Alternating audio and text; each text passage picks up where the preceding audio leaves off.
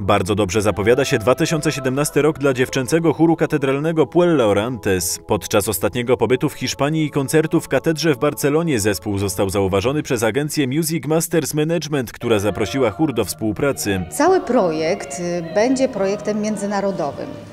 Ym, Pierwszy koncert odbędzie się w Polsce y, z polską orkiestrą, którą myśmy mieli y, zaproponować. Y, Koncert odbędzie się 1 bądź 2 kwietnia.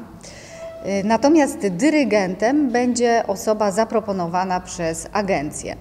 E, Prawdopodobnie będzie to y, europejski dyrygent. Następnie tydzień później wylatujemy do, do Hiszpanii i tam e, odbędą się dwa koncerty e, z orkiestrą Filha- Filharmonii Iberyjskiej pod dyrekcją już dyrygenta, który dyrygował tutaj w Polsce.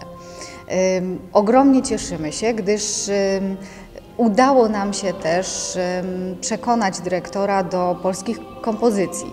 Więc druga część koncertu to będą utwory skomponowane dla Puella Orantes przez polskich kompozytorów. Będą to trzy e, utwory jubileuszowe, które zostały skomponowane na 20, 25-lecie i 30-lecie naszej działalności artystycznej. Natomiast pierwsza część koncertu to będzie repertuar zaproponowany przez agencję i to będą większe formy, e, prawdopodobnie to będą trzy msze. Chór zaplanował także cykl koncertów z okazji 30. rocznicy pobytu w Tarnowie papieża Jana Pawła II.